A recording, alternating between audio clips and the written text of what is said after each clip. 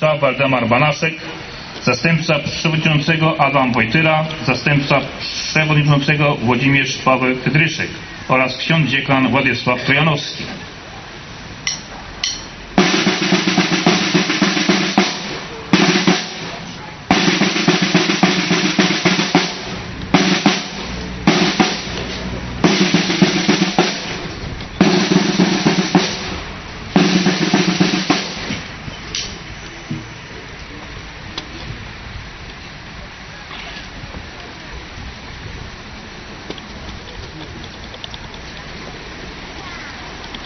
Hołd pamięci honoru bohaterom Bitwy Warszawskiej oddaje przedstawiciel Platformy Obywatelskiej w Tłuszczu Sławomir Klocek.